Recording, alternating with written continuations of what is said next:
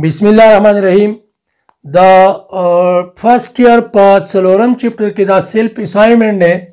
why the density of a gas is much lower than that of a liquid or solid لکه د ګیس ډینسټي ولې کم ای د سالډ او د لیکوډ نه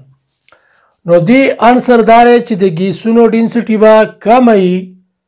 د سالډ د لیکوډ نه زکات چې د ګیس مالکیلو په منځ کې لارج امټي سپیسي ډیو ټو ویک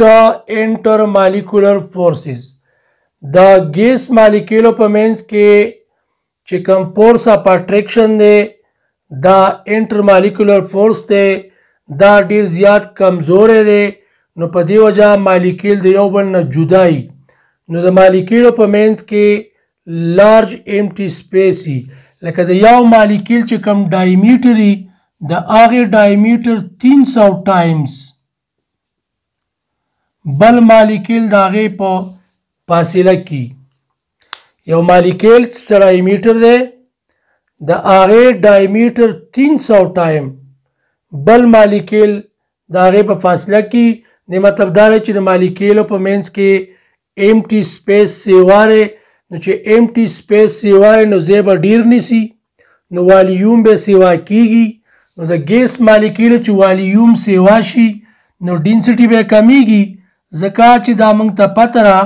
چې ډینسټي از انورسلی پروپورشنل ټو والیوم کله چې والیوم سیوای نو ډینسټي به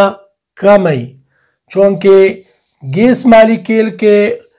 والیوم زیادہ ہے gases के volume ज़्यादा है यही वजह है कि इसके डेंसिटी कम है तकरीबन ten to the power minus three times the गैसुनो डेंसिटी द सॉलिड या द लिक्विड ना कम है gases has lower density about ten 10 the power minus three times then that of a liquid or a solid نو دا زمونږه آنسر شو شارټ کټ آنسر دارې